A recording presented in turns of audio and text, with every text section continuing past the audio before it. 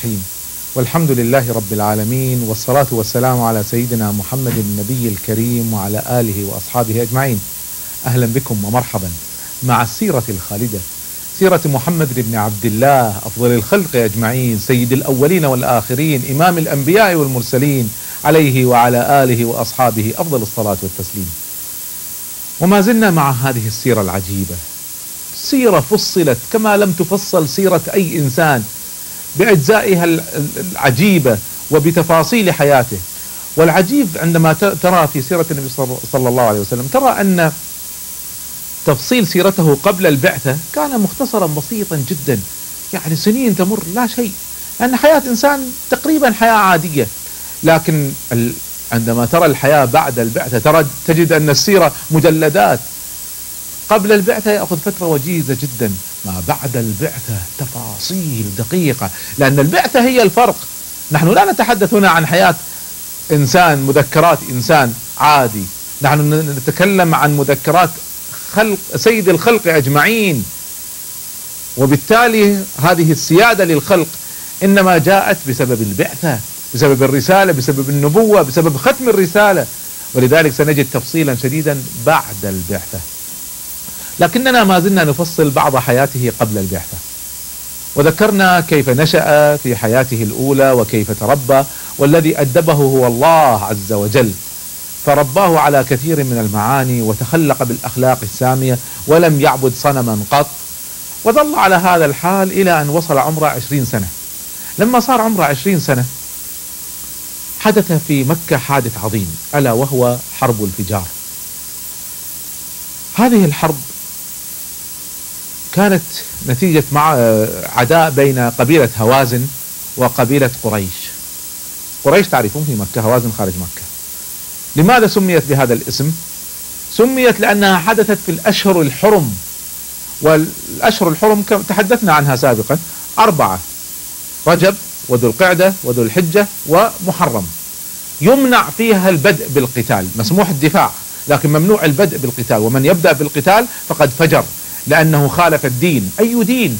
العرب كانت على دين إبراهيم عليه السلام كما تحدثنا كانوا مؤمنين موحدين. إلى أن جاء الملعون عمرو بن لحي فغير دينهم وأدخل لهم الأصنام. لكن بقيت أشياء كثيرة من دين إبراهيم فيما بينهم. منها الحج ومنها الأشهر الحرم. بقيت قضية الأشهر الحرم. فكان الحرام عندهم البدء بالقتال بالأشهر الحرم. هكذا كانت بداية المسألة.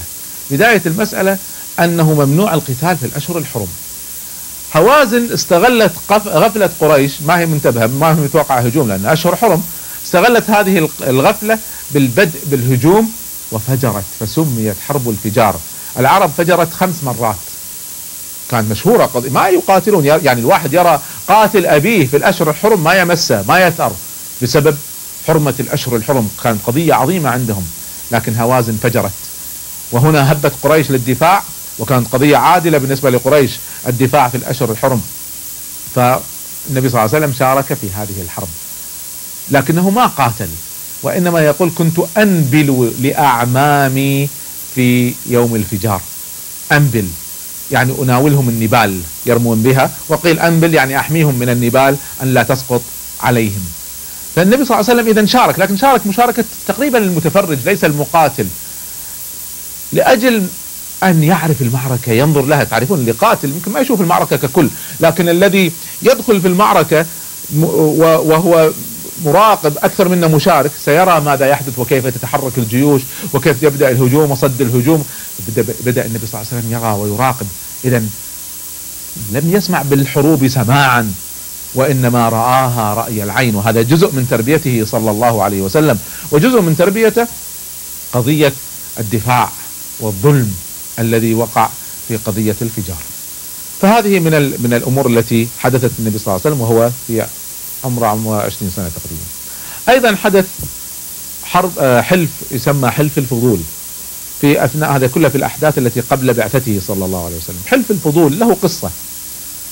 واحد من أهل اليمن فقير مسكين تاجر تجارة خفيفة ذهب إلى الحج ومن ضمن الحج تعرفون يستغلون فترة الحج للتجارة. لا جناح عليكم أن تبتغوا فضلا من ربكم. فما في مانع الواحد يحج وأيضا يستغل هذه الفترة يبيع شيء يشتري شيء لا مانع. فهذا اليمني باع بعض البضاعة التي عنده إلى العاصي ابن وائل. العاصي بن وائل سيد من سادات مكة عظيم من عظمائهم تاجر كبير من تجارهم. وهو أبو عمرو بن العاص رضي الله عنه. فالعاص بن وائل أخذ البضاعة ولم يعطي الرجل ماله. قال له بعدين أعطيه. جاء له في اليوم الثاني أعطيني أموالي رفض وظل يماطل. سبحان الله بعض التجار يماطلون الفقراء. تلقى عنده عمال فقراء مساكين ما يعطيهم راتبهم. لا يريد أن يوفر له كم فلس ولا يريد أن يؤخرهم حتى يستغلها يتاجر فيها ولا يأخذ له ربح عليها من البنك ولا غيره. والعياذ بالله ظلم. هذا المسكين يعني يعيش على هذا. أنت غني الله سبحانه وتعالى أعطاك. سبحان الله بعض السادة بعض الأمراء بعض الكبراء بعض التجار. لا يتقي الله في هؤلاء الذين يعملون عنده لا يتقي الله في الذين يتعاملون معه. يشتري بضاعة ما يدفع فلوسها عمال عندما يعطيهم هذا ظلم ظلم. فاتقوا الله عز وجل أعطي الأجير أجره قبل أن يجف عرقه هذا من الظلم أن يفعل الإنسان هذا. والله سبحانه وتعالى أغناك الله سبحانه وتعالى وسع عليك وأعطاك. هذا المسكين ما عنده غير هذه الأموال يعيش عليها. بعض الناس يأتون من بلادهم إلى مثلا بعض الأماكن عندنا في الجزيرة ويعملون مع بعض التجار الظلمة. أو بعض الشركات الظالمة. يجلس أشهر والله ما يعطونا راتب. إلى أن يقوم بثورة ولا يقوم بكذا يعني حرام حرام أن يفعل بالناس هذا. اتقوا الله في هؤلاء الضعاف اتقوا الله في هؤلاء المساكين. أعطوهم أجورهم. الله سبحانه وتعالى يحاسبكم على هذا. اتقوا الله خافوا الله عز وجل في هؤلاء. والله سبحانه وتعالى أغناكم عن هذه الأموال البسيطة. وهم محتاجين اليه فهذا اليمني المسكين محتاج هذه الأموال ما عنده غيرها. وهذا العاص بن وائل تاجر كبير رافض ان يعطيه. وظل كل يوم يماطله يماطله بعدين قال له ما عندك شيء. ما لك شيء عندي. اليمني ماذا يفعل مسكين؟ ماذا سي... ماذا سيفعل في مواجهة سيد من سادات مكة؟ وهو يم... وهو تاجر فقير ويعني رجل مسكين. ففعل شيئا عجيبا. ألف بعض الأبيات الشعرية وذهب إلى سادة قريش كانوا يجلسون في دار الندوة دار قصي بن كلاب حدثناكم عنها سابقا. فمجتمعين هناك فدخل عليهم في دار الندوة. فبدأ ينشدهم الأبيات في ذم قريش وظلم قريش واستغلال قريش للتجارة وأخذهم للأموال. وقال والله إذا ما رجعتوا لي أموالي لأطوفن في العرب وحدثهم بهذا. طبعا التاجر يشتري سمعته. يعني لو اشتهر بين العرب أن قريشا لا, لا تعطي الناس أموالها وتأخذ أموالها لن يتاجروا معهم. وإذا لم يتاجروا معهم قريش ما عندها لا زراعة لا صناعة تعيش على التجارة. فخافوا. على أنفسهم أولا وعلى سمعتهم والتاجر يعيش على سمعته التاجر يشتري سمعته.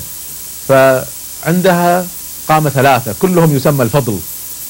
ونادوا بالتحالف عمل حلف لرد الظلم عن المظلوم. حتى ولو كان الظلم